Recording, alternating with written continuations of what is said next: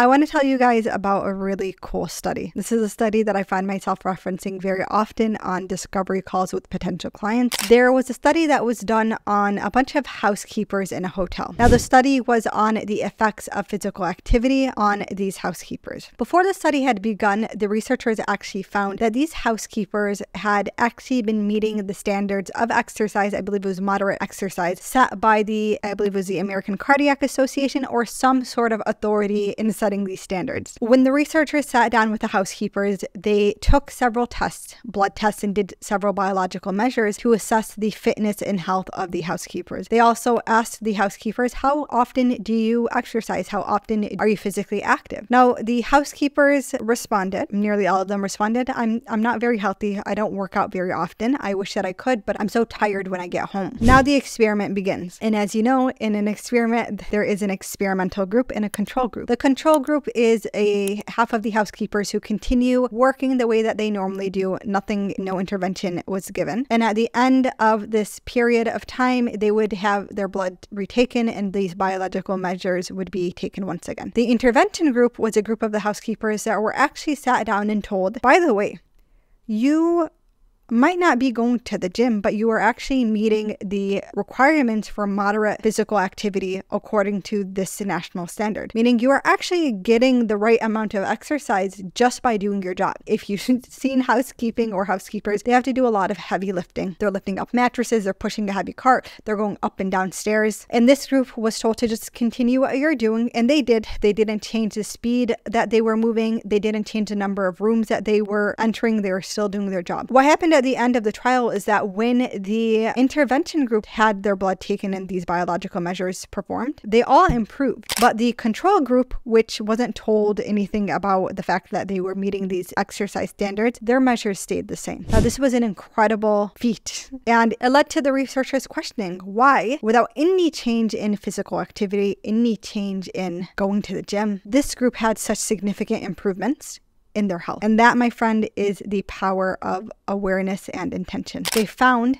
that just by now understanding and believing that they were meeting that standard, essentially what happened is they rewired their brain and their brain set out new patterns and new connections, which led to parts of their brain which were previously inactive, now sending these neurological signals, leading to these biochemical reactions, which led to the increase in these healthy biological markers. In other words, when their brain came to know that, oh, these standards are actually being met, it worked in uh, their favor and started leading to these biochemical reactions, which allowed the person to actually benefit from the exercise that we, they were doing. Isn't that incredible, subhanAllah? So, what does this have anything to do with us? And by the way, before I forget to introduce myself, if you're new here, assalamu alaikum, my name is Hana. I'm a PA who practices medicine. I am a trauma coach for Muslim women and a high impact self improvement coach. If you are a Muslimah who's ready to take charge of her healing, you you want someone who can walk you through a system of how to heal trauma, go to the link in my description to apply for my trauma group coaching program. Only a few weeks are left for this next cohort, which is launching at the end of June. So don't miss out. The reason why this is so important and why I love this study is because it demonstrates just the power of intention and awareness. When you realize that something that you are doing is actually really powerful and good for you, your body conspires in your favor. And this is something that is by Allah's beautiful design. So I find myself referencing this study often to my clients because they're doing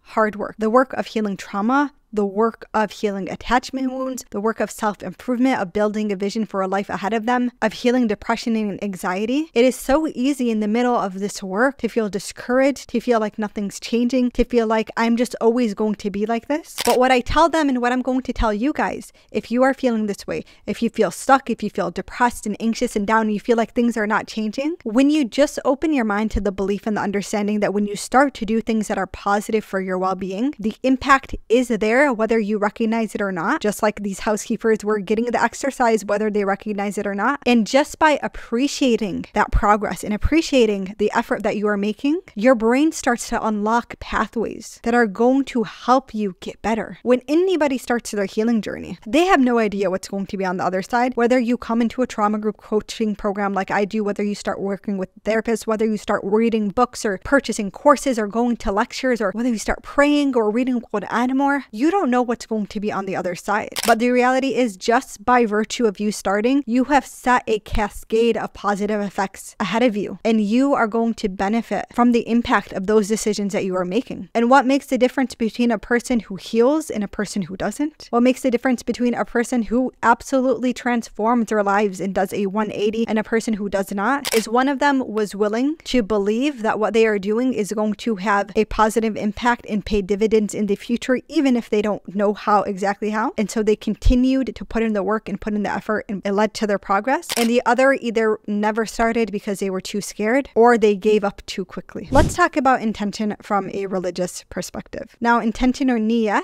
is a powerful principle of our deen. Indeed, all actions are by intentions. This is what our Prophet ﷺ told us. And I never fully appreciated this hadith until I got older. I learned it when I was a kid, and then oftentimes I would hear these spiritual gurus who are not Muslim talking about intention, the power of intention, set an intention for your day. And I was like, what is this woohoo sign? Like, what is what are they saying? And then it I started to just bring awareness to the power of intention in my life. And I found that when I, so in Islam, when we make an intention for a good deed, and even if we do not get to perform the deed, Allah subhanahu wa ta'ala rewards us for as if we did it because of that intention. So I started to notice when I would make an intention for something, and for one reason or another, I was blocked from doing it, whether I got busy or just the opportunity was no longer in front of me, something would happen. One, either the positive impact of that action, I would see it in my life even though I never performed the action, or Allah subhanahu wa ta'ala would bring that opportunity back to me at another time when it was better for me. Now, had I not made that intention, had I not brought an awareness to the fact that I wanted to make this effort, then I might not have noticed the benefit in front of me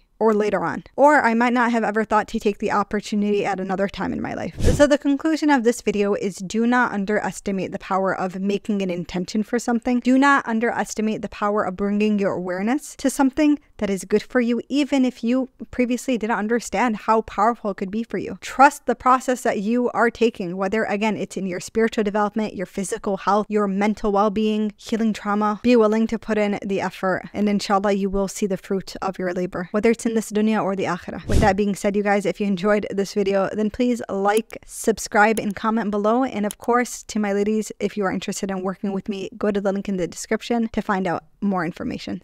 Assalamu alaikum, and I will see you in the next one.